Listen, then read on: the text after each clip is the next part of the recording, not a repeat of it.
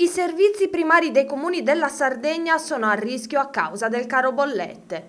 È quanto dichiara in una nota l'Associazione Sarda Enti Locali.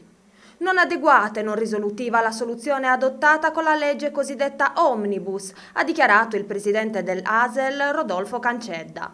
Con la prossima legge di bilancio, la Omnibus bis, occorre dare una risposta certa e definitiva ai bisogni reali delle nostre comunità.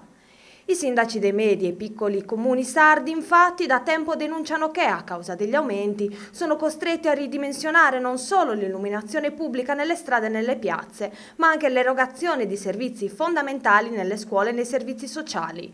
Per questo motivo l'ASEL Sardegna, l'Associazione dei Comuni Sardi, ha chiesto ufficialmente al Presidente della Regione Cristian Solinas la convocazione urgente della conferenza permanente degli enti locali per affrontare il tema degli aiuti finanziari a tutti i comuni sardi per dare risposte ai bisogni dei cittadini in ordine ai problemi della sicurezza pubblica e di garanzia nell'erogazione dei servizi primari, specie alle categorie più fragili e bisognose di assistenza certa.